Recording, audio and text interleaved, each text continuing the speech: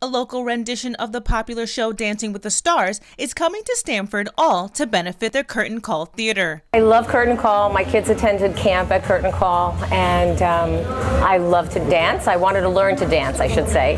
And it was a great opportunity to be able to give back to the community that I live in and I work in and I care about. Curtain Call is Stamford's longest running and only nonprofit producing theater company. It's important because they promote the arts and the, the, art in the area. It's probably one of the biggest companies in the area, and every single month they do different shows, they do different musicals, they do different events. So we, we got to keep supporting the arts. Budgets, federal and state budgets, and community budgets for the arts have been really slashed over the last few years, and this was an opportunity to really share the importance of keeping the arts alive in our local communities. Local professionals have been paired with dance instructors from Arthur Murray Grande Ballroom of Greenwich and Dance With Me Studios of Stamford and have been practicing for three months. There's so many people interested in, in theater and music and dancing like here, and it's just such a great thing to learn. We have so many young people that come to the studio that really enjoy it. Curtain Calls Dancing with the Stars is its only special event fundraiser to help with operating cost. I always had a passion for the theater growing up as a kid and a friend of mine did it last year and I thought, you know, I can do that. I can maybe do something good for